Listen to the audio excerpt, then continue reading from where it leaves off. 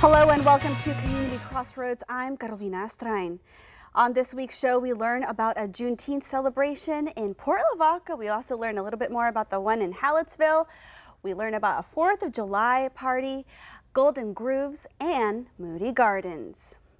And now we welcome Michael Clay, who is part of the Port Lavaca Juneteenth celebration. Welcome to Community Crossroads. Oh, thank you guys for having us. It is so great to see you and, and to have you here. And you look fantastic, by the way. And let's go ahead and get to Juneteenth. Yes.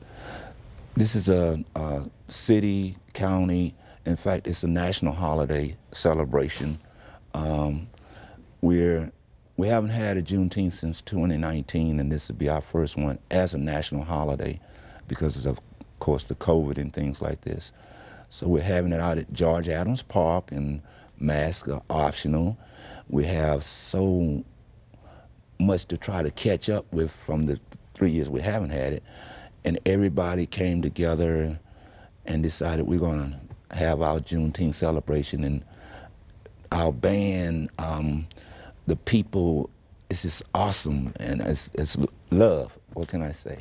And it's a three-day event. How, how is it made possible? It's made possible through the effort of the community itself. We, as a community, decided we can't, you can't fight um, COVID. We've we practiced our, we got our vaccinations and we, masks. We asked for masks. It's optional, and as a community, we want to be outside in the park and and promote our event.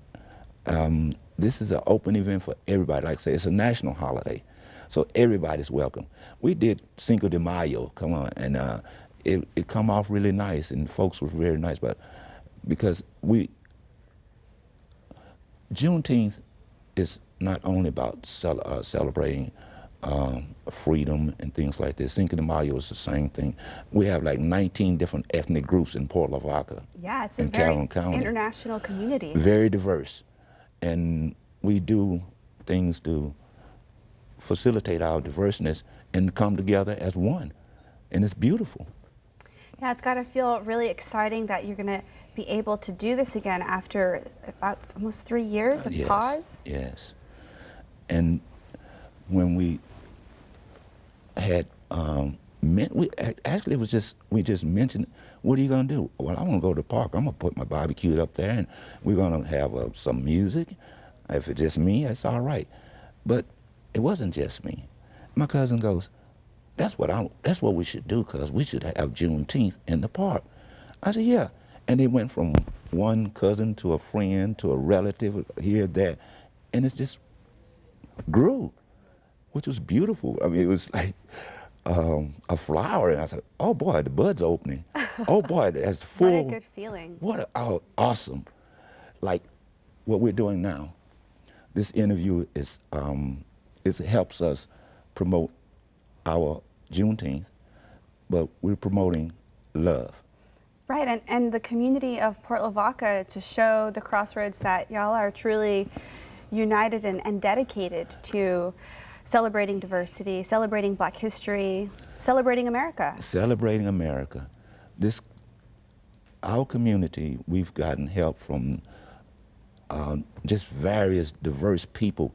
And I, I don't, I don't want to shout out no certain individuals or anything like this because we're doing it together uh, our city manager, awesome, our um, public works director, our community, everybody's on the same page. Well, I think we all know where to be this weekend. It's going to be at George Adams Park, the Juneteenth celebration hosted, put on, organized by the community of Port Lavaca. Exactly. It's going to be at George Adams Park. It's free. We have free food and uh, we have uh, for lunch and uh, for uh, Saturday, and we'll have fish dinners Sunday. I saw the fish fry. Very tempting. well, thank you again so much. No, thank you guys so much. We, we love it. Love it. Come and see us. Come be with us and join us and enjoy Juneteenth, this national holiday. And we're extending this to everyone. We're not excluding anyone at all. Come on, you guys. Let's go have fun. All right, well, coming up, Don't go anywhere. We learn more about summer fun at Moody Gardens.